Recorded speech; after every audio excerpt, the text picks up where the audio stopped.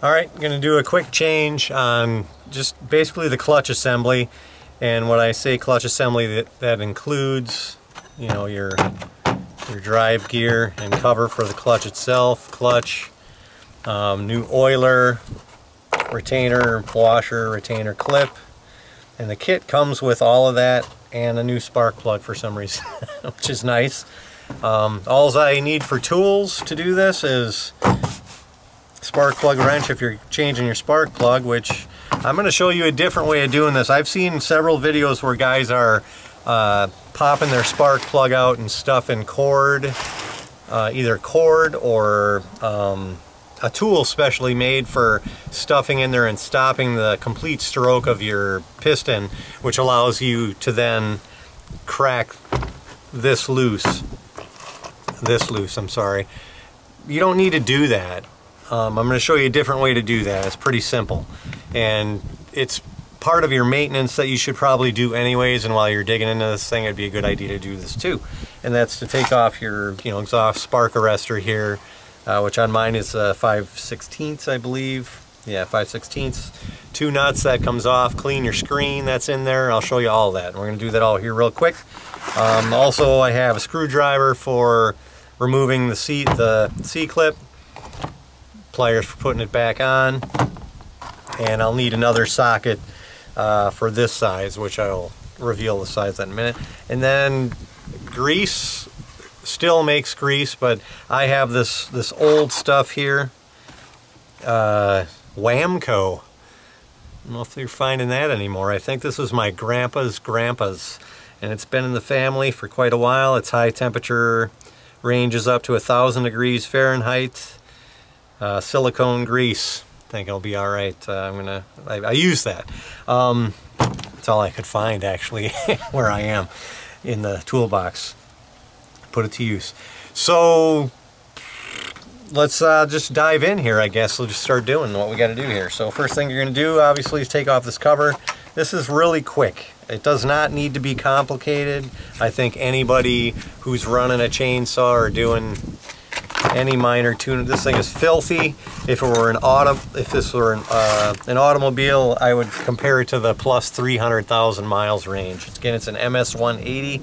I've had this thing for a long time. It's done a lot of work for me. Um, I've always taken decent care of it. So take off your bar, as you just saw me do. You know, loosen up your uh, chain adjustment there. Then I just take a screwdriver, and it's kind of awkward because I'm trying to position everything for the camera as well as be efficient here. I just pry that off like that. You know, you want to kind of cover it up because it tends to go flying. Boom. Washer. Boom. This should come off easier. Oh, there we go. That's why I had the chain brake on. Um, lift that off and you'll notice there's a little groove in there. I don't know if you can see that on the right there. That's what you're lining up with your oiler, which is down there, which is this. Mine, I already did this, so I'm just going through it real quick to show you. Mine is destroyed. This should not be loose, it should all be one piece. Um, so here, then once you get in there, then you have your needle bearings, bearing cage they call it. Mine was destroyed. That's what caused me to order this kit to begin with, is I at the end of the season last year. I was using it. I just happened to be finishing up, which was great because if something's going to break, that's not usually when it happens. Um, and it sounded like, I don't know, like somebody threw a wheelchair into a fan. I don't know, just rattling and all that. So here's the thing. This is a reverse thread. I'm going to show you, this is the part where a lot of other people are doing other stuff where they're taking off your cover here I can wrestle that off. I'm not sure what's going on there.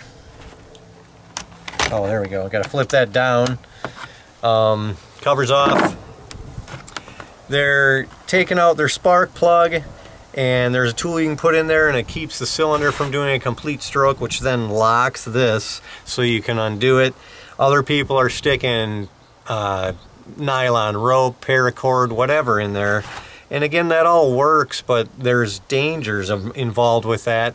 And the fact that they make a tool to do it tells me, well, that must be the way to do it. But I found in my opinion, a much simpler way to do this, and that is, and you need to, uh, you need to do this to your chainsaw every once in a while anyways, and when I did it, I certainly needed to. I've already pre-cracked these, so you don't have to endure watching that. Try to be quick about this stuff when I show you guys stuff, if I can, within reason. Just letting parts fly all over the place. So then this comes off. It's two pieces, really.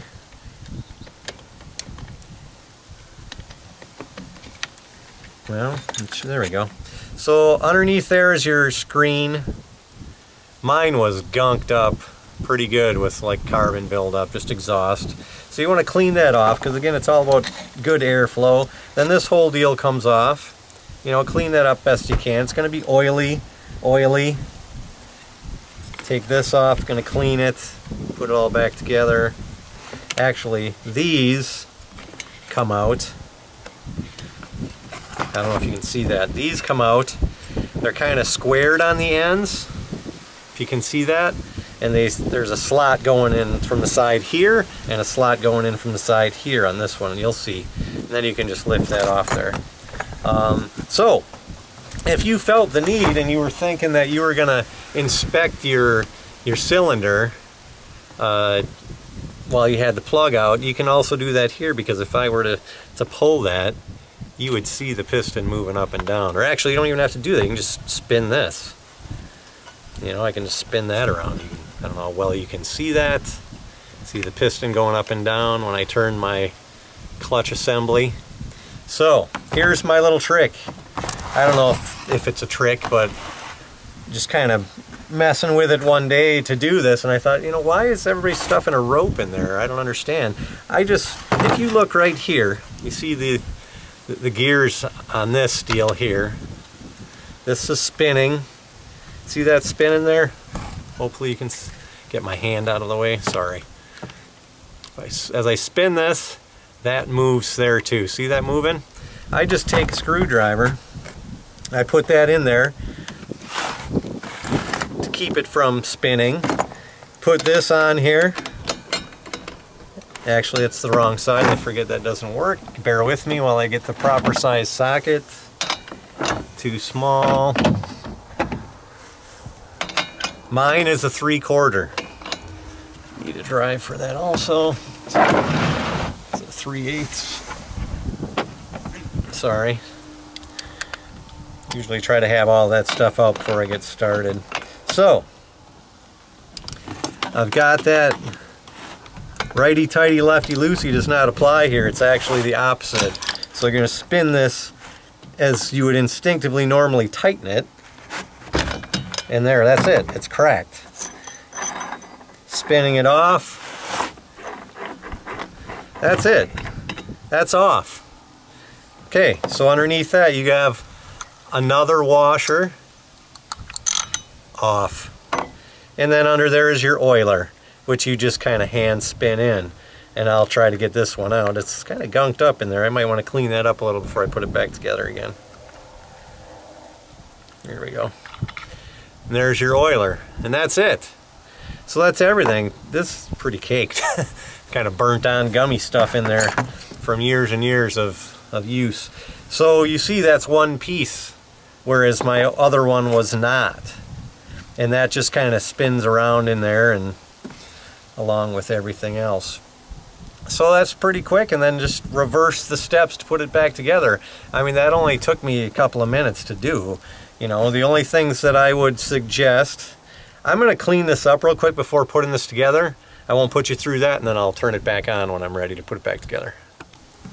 Alright, so clean that out pretty good. Nothing in there is really interfering with anything that uh, should be happening in there. It's uh, this, Like I said, this thing's got a lot of miles on it. I need to do a little other work to it, but the purpose of the video is just to show you how to change this out real quick. So the kit came with this in order that they go.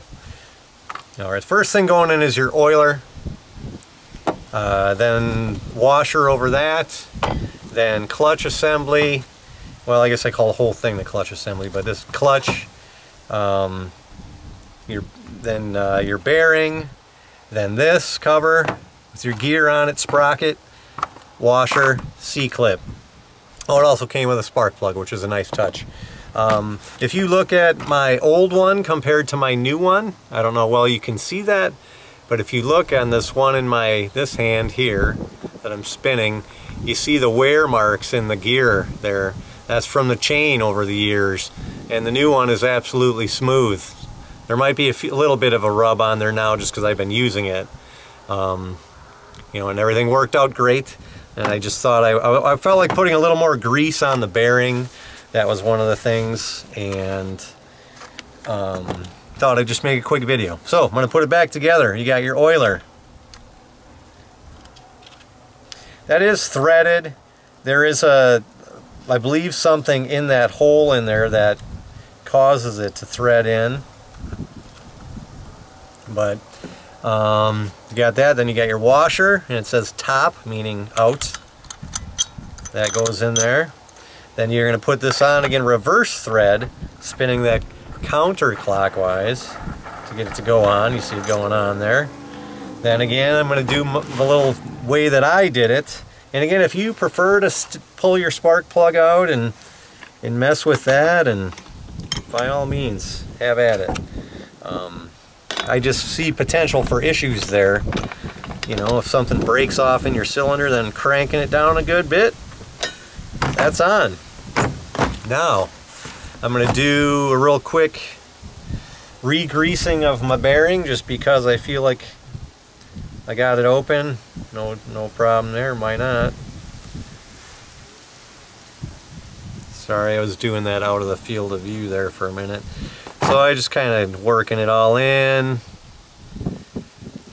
Rubbing some on the shaft there. Of course, wipe everything off real good. Make sure everything's good and clean before you, you know, putting that bearing on there, working that around a little bit, wiping off the fingers. So that's on, then we're putting this on. Now if you look, again, there's this is where that notch comes in that I was talking about on there, that little notch. If you look down in here, you'll see the orientation of where that oiler is sticking up and I don't know if you can see but I see mine down there kinda. So I'm kinda lining this thing up as close best I can visually with that and then spin up now you spin it and you, I felt it kind of drop over that. So they those need to those work together. That groove needs to line up. Then you got your washer. Then you got your C-clip just about push that on by hand there. I don't know if that should concern me or not, that it went on so easy by hand. But that's why I had this pliers. I'd usually give them a, a little finesse move at the end there. Seems to be in the groove. So that's it. That's together. Put your, your bar chain back on, your other parts back on. You know, um, I want to wipe all this stuff off before I reassemble everything, so I'm not going to put you through that. But, you know, you got this, you got this and your spark arrestor. And don't forget to clean that screen. If you want to change your plug, go ahead and do that. That's never a bad idea. You like to try to change it at least every season, sometimes more. But that's it. Um, I'll put the link for this kit that I got off, at, off of the old Amazon. Um, it was very reasonable, if I remember correctly, about 15 bucks you know, and it was, in my opinion, about as an, an exact replacement as you're going to get without it having the name Stihl on it. But other than that, hopefully that's helpful and, and helps a few people out.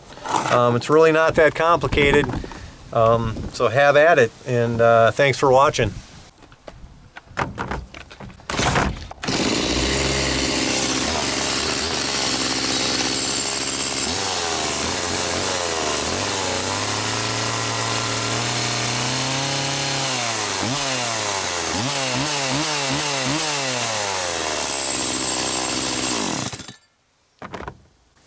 Running like a champ. As good as it's ever run. Sounds much nicer now without uh, all that rattling going on in there. Anyways, again, thanks for watching.